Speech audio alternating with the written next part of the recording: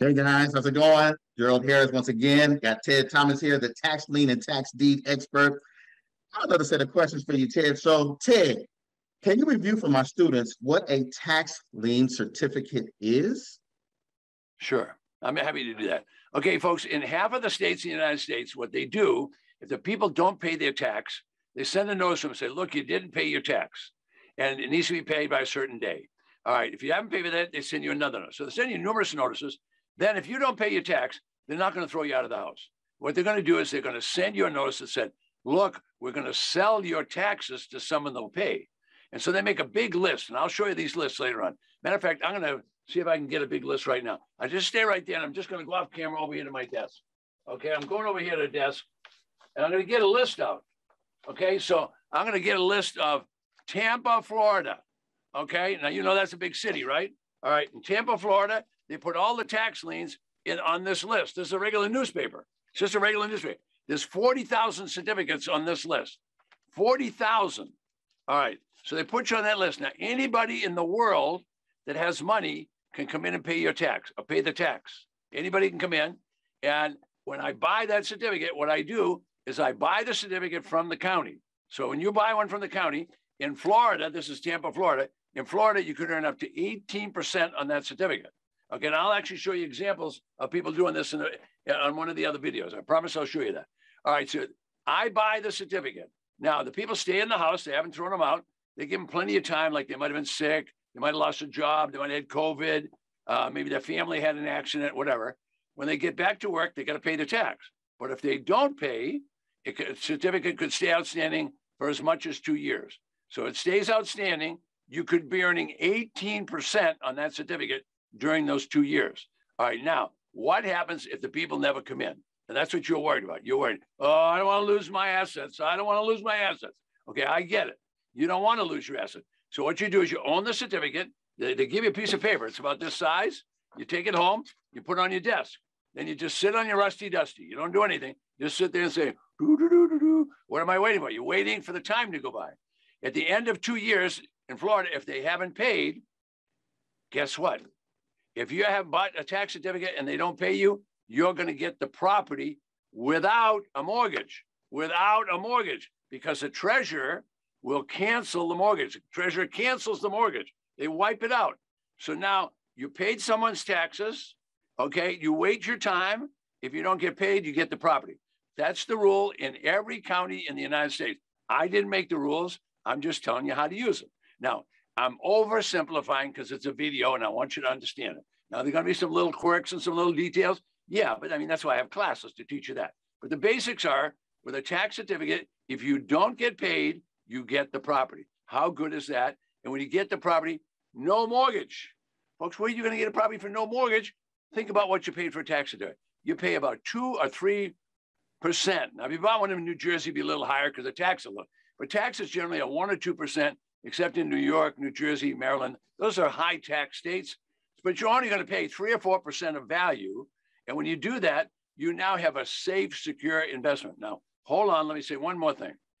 Tax certificates are the safest investment in America today. Now, why can I say that? Here's why I can say that. Now, you can't buy them from me. I don't get paid. Okay, I'm an educator. I just teach people how to do it.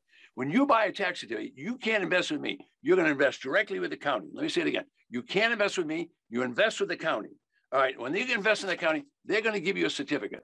Okay. You'll either get paid, whatever the interest rate on the certificate is, or you'll get the property. Now, why wouldn't you buy tax certificate?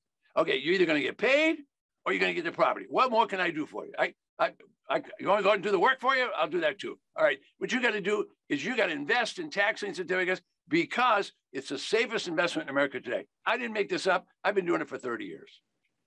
Wow. Wow. Thank you for that. You know, so I think I understand tax lien certificates. Most clients never heard of tax lien certificates. Are they available in each and every state? Tax lien certificates are only available in half of the states. And most people don't know about it. Now, it's not your fault that you don't know about it. The, see, the county only advertises those certificates. I'm going to go over here and get another newspaper. They only advertise those certificates in whatever county they're in. So I'll just reach over and get another one. So this is um, this one here is what county is it? All right, South. This is Broward County. This is Fort Lauderdale. Okay, this is a list of tax certificates. There's no pictures in this newspaper. There's 30,000 certificates just in Broward County. That's Fort Lauderdale. 30,000. All right, so every county sells tax lien certificates.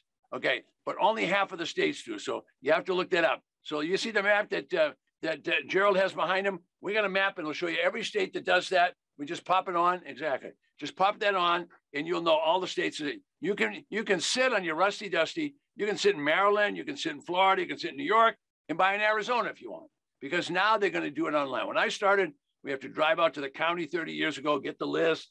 They don't do that anymore. You can do it online. So you can do this work online. I have clients, and if, uh, I'm going to do a, a one day, all day event.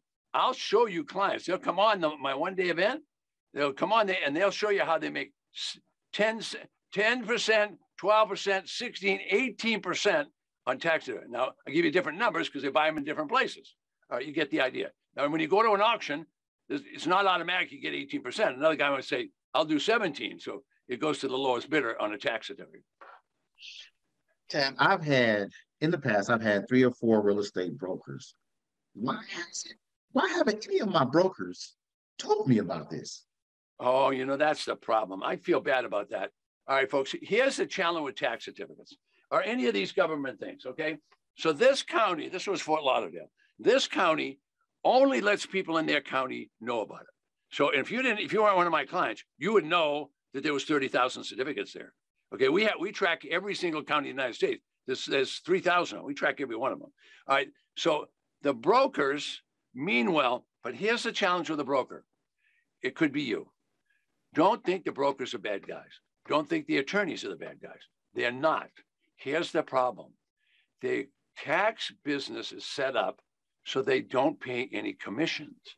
Now, how's a broker going to make the money if he doesn't get a commission? So a broker is going to try to sell you a house or rehab or something. That's what a broker. What's an attorney going to do? Well, you got to come to my office at five hundred dollars an hour or whatever. If you if you want to pay, they'll teach you that. Okay, they can go to the statute books, look it up, and teach you that. But my point is, none of those people that do it doesn't matter whether it's brokers, bankers. The bankers sure know about it. Why did the bank know about it? Because a tax lien is always the first lien. When you buy a tax certificate, you now have the first lien. You can wipe out the bank. Folks, I've done it. You can wipe out the bank. Just knock it. And the county does that for you. When you buy a tax lien, people don't pay it. They knock the mortgage right off because you bought the first lien. First lien is first lien. That's right. Now, people are going to tell you that the mortgage is the first lien. I'm here to tell you go to the title company. They'll tell you who it is. Go to the county. It's always the tax lien. So when you buy tax lien certificates, you're buying the safest investment in America today. You either get paid or you get the property. Wow. Wow. So most of my investors, they they live here in the United States. Right. If people live outside of the US, can they still invest in US tax liens? And a- absolutely. The class that we're doing now, I teach it in Sydney and Melbourne, Australia. I teach it in Singapore, out in the middle of the Pacific. I teach it in Bangkok, Thailand. I teach it in all almost all the provinces of Canada. We teach it. All you have to have is an American bank account. Because you see, everything's done in English. And so you have to have American. account. So we don't have multiple languages in our country. We have one one language, and that's English. So all the county people know to do, be able to talk to you is English. So you have to have everything's done in dollars. So you'd have to convert before. But we teach you how to convert. We have classes on how to convert. So, okay. So what should I buy? Should I buy tax liens or should I buy tax defaulted properties? Which should you buy? Okay. Yeah. So let's say you're a conservative guy and you don't want you don't want to do any work at all. You just want to you just want to you just want to deal in paper. So then you go and you look at the list, then you evaluate the property and you buy tax liens. Now remember what I said on tape number one. When you buy tax liens to do it, you can't buy it from TED. You're going to give your money directly to the county. Okay, and the county's going to hold the money. I can tell you right now, 98% of all those tax liens are going to pay you. So you're going to get your money back. So you get whatever you invest, money back. So that's a very conservative, it's a very conservative investment. Now, if you want to make big bucks, okay, now this is where we teach people to make 25, 50, and $100,000 on the deal. Now, how do they do that? Well, there's going to be the same kind of lists again. So let me get a let me get another list here and I'll show you. every county has has a list. Okay, so this is just a county list from Franklin County, New York, and all the properties that they're going to sell are listed there. I just downloaded this off the internet. All right, now that those properties are going to be sold for the back taxes. So let's say the house was worth a hundred thousand and had ten thousand on taxes. The starting bid is ten thousand, and there's no mortgage. Ten thousand. All right. Now, what if you could buy it for twenty thousand? So if you bought it for twenty, all the margin between twenty and the hundred thousand is yours. So that's a big chunk of money. And now we teach people to do that. Sometimes we teach them to buy, you know, maybe a fifty or seventy-five thousand dollar house for eight or ten grand. And when they do that, then all that upside belongs to them. Now I'm going to show you an example of someone making big money on a tax certificate, and he's doing it from outside the country. All right, now this guy's name is Kelly, and, and be patient with me so I can show you this. I taught him to buy residential lots to start with, and I'm going to show you an example of that. Okay, then after that, he moved to to buying uh, um, five acre lots with barns on them and houses and all that. And he made over a hundred thousand dollars on his second deal. Now I'm going to show you a video on that. So pay attention to the video. It only take about two minutes, and then I'll discuss it when it come out. My name is Kelly Osmak, and I'm from Regina, Saskatchewan. I'm a Ted Thomas student. I had purchased a, a lot in Riverside County, or Riverside. Uh, I purchased it for 35000 and uh, after I got my title, I listed it. It was listed for a month, and I got a full cash offer of $55,000 US.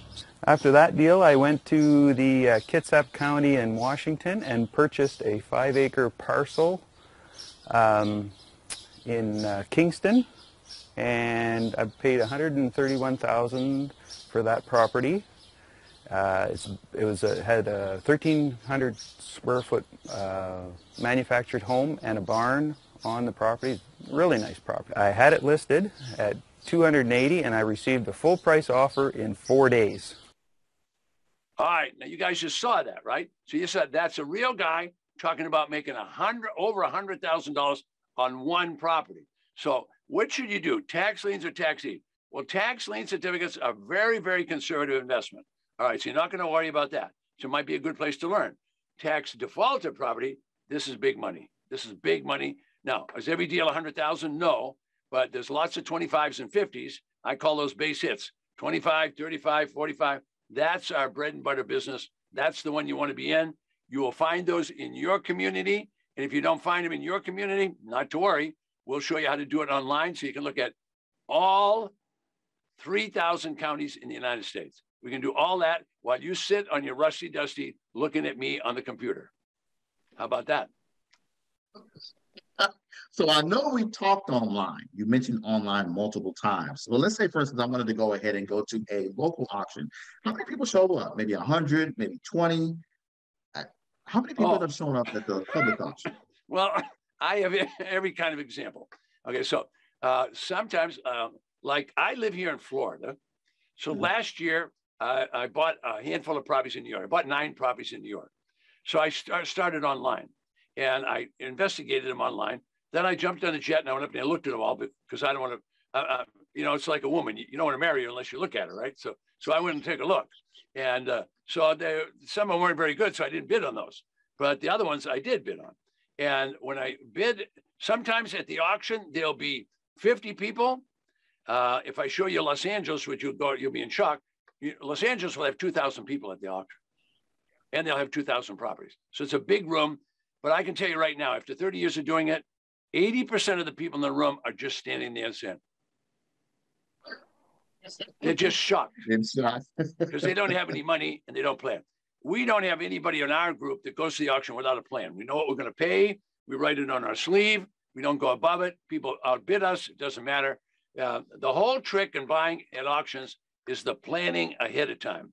And people don't do that. What they do is they never get a list of the properties. They never go look at the property. You don't ever want to buy a tax property without going at least get your boots on the ground. Now, if you don't use your boots, we teach you to get, send someone. Because what if you bought it today and yet while that's just going on, there was a hurricane or a fire? Or what if it was next to a chicken farm? You don't want to be next to the chicken barn. That could be kind of smelly. So the point is, we teach you to go look at all that stuff. That is funny. That is funny.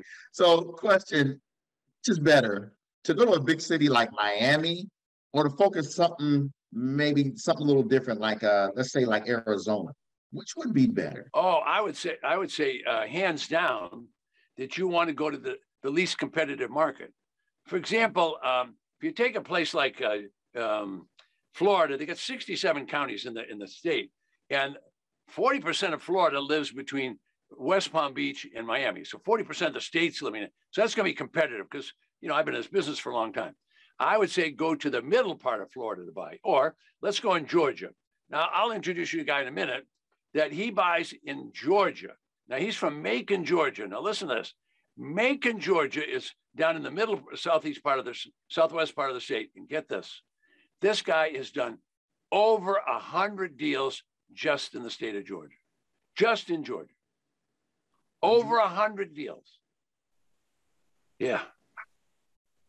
It's a it's a big deal. So I was in Georgia, as you know, with the exception of Atlanta, it's a rural state. It's a, it's really a farm state. Yeah. yeah. All right. So mm-hmm. rural counties are really good. Now there's auctions, there's only 10 to 20 people show up. Because you see that the county does not advertise outside the county. So if the county people don't show up, you're going to be an outlier. You're going to be there because you know that there's deals to be made there. So people go and uh, people go to those auctions. So the big auctions, big cities, there's going to be some some activity. For example, they'll have 3,000 properties and only 100 people show up. Wow. I've got it on video. I'll show it to you. Unbelievable. Folks, let me explain this. You'll never have to work another day in your life. The, the insecurity is gone if you just follow in this man's footsteps. Now we're going to talk about Los Angeles, California, where the starting bid is the back taxes, and they had over 3,000 properties. And that's the auction book that I mentioned earlier. Here's what happened. My name is Renee Gauthier from Surrey, BC. In October, I went to Los Angeles County tax deed sale. Bought five properties for roughly $85,000. They are vacant lots. One is in Malibu, four in downtown LA. Gorgeous properties. Their value, tax assessed value, is just over $1 million. I did this after taking Ted's course in under 90 days. Thanks, Ted. Just imagine Los Angeles, California, a million dollars worth of properties, and he only spent $85,000. That's eight and a half cents on the dollar. Folks, this is in your best interest. Once you learn this, you can do it for the rest of your life. But you know what you're thinking? I know what you're thinking. You're saying, how would I ever sell those properties? Well, use my Walmart strategy. What is that? It's buy low and sell low. So we had a million dollars worth of properties let's give an 80% discount and see what we have left. Well, we still have 200,000 left and he only spent $85,000. Look at the profit he made. Just one deal, one auction in Los Angeles, California. How about that? Wow. Unbelievable. I like, I like those numbers. Question, what's the maximum number of tax lien certificates available at one time? Maximum number? Yeah. Um, you you could go to um, Chicago, Cook County, and in Cook County, the average auction will have 100,000 tax lien certificates. Before the computer, now that was when I had black hair and I was skinny. Okay, I go to the auction, and what they did is, you know, the three by five, three by five card, little white card like that, that people write on the auctioneer would get up and read the card, the property note, and the people would bid. It took 35 days to sell all those certificates. 35 days. Now they do the whole thing online so you can just pick the ones you want. You can go look at it. Remember, you're picking, you're not just picking from the list. The list is a property number. You can go look at the property. And you can do it. We can show you how to look at the property online just as well. Okay. And I heard you say the minimum payment in Georgia in terms of return is 20%. Is that true? no one believes Georgia. Georgia is my favorite state. Why do I like Georgia? Because here's how it works in Georgia. If a property goes into default, they sell what's called a redeemable deed. So they're going to sell a redeemable deed. Anybody can buy it. All right. When you buy that certificate, watch my hands now. You bought it on this day. This is day one. Okay. That starts a clock like on 60 minutes. Go tick, tick, tick, tick, tick, tick. all the way out to the end of the year. So any day that the person comes in to pay the tax, it's not an interest rate, it's a penalty. So if you bought it today and they come in and redeem it, in other words, they want their property back. All right, if they come in and redeem it, well, you're going to pay, get paid 20%, even in 10 days. You're going to get 20% all the way through to the 365th day. So I tell my clients on the 365th day, you can foreclose, you can take the property. But I say, if you're my client, don't take the property. Just let the certificate go into the 366th day, and you no longer get 20%. Now you get 30%. And the year after that, you get 40%. And the year after that, you get 50%. Now, look, I don't make the rules. I've just been doing this for a long time, and I can tell you what the rules are. So you can make up to 50% and never own a property. I don't make the rules. It's the way it is. Percent. The ROI on something like that is enormous. Fifty percent. Oh my goodness. And remember, the check doesn't come from Ted. It comes from the government. Remember I talked about the government? The government's going to make sure you get paid. I love it. I love it. So Ted, Yeah. why would anybody buy tax lien certificates when they could buy tax deeds? Oh, listen, uh, more people want tax liens than tax deeds. You see, you're an entrepreneur. See, entrepreneurs, they know how to minimize risk. Now, how do you minimize risk? First of all, don't buy any junk. You don't want to buy any junkers. So you minimize risk by what you pay. So if it's a hundred thousand dollar house, you're not going to pay ninety thousand. You're going to say, I'm going to bid up to twenty or thirty percent, so I got margin. All right. So that's that's a that's a tax deed investor. Tax lien investor, they just want to say, all right, I want to make 15% of my money, or I want to make 12% of my money. So they invest in a tax lien. 98% of all tax liens will pay off in the first two years. Most of them pay off. More, people with tax liens, they rarely use their property. One or two, one or two percent lose the property. Not very many. One or two percent. That's all. Ted, once again, appreciate you. Guys, go ahead.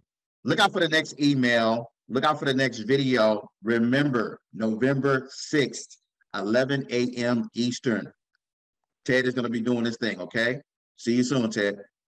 Okay. Good to see you. See you soon.